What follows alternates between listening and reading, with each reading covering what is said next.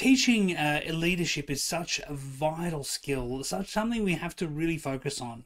Too often, uh, people are promoted uh, for having their technical capabilities, they're a, a good technician or uh, they're a good uh, accountant or a good engineer, and suddenly they're promoted and made a leader.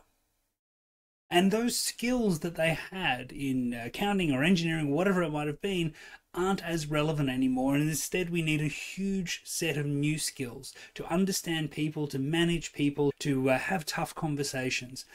And if we can start that process with empathy being a common thread, it makes uh, our job so much easier because leadership is about people. It's about caring about people to get the best performance from them.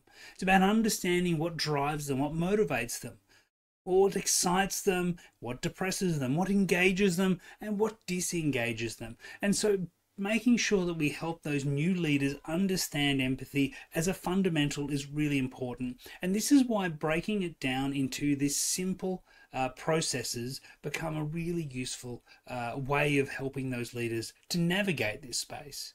What I've found in my experience is that too often empathy is taught or talked about in these broad terms, in, in sort of nice motherhood statements and platitudes that you can't argue against, but you can't really use. So instead, we make sure that the empathy process is a very simple, clear four step process.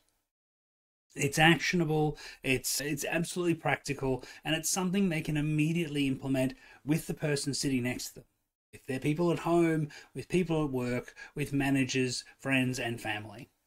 So we want to make sure that it's a practical, step by step process, and we've really found that's incredibly useful when helping to, to, to navigate through those emerging leader challenges that many people have.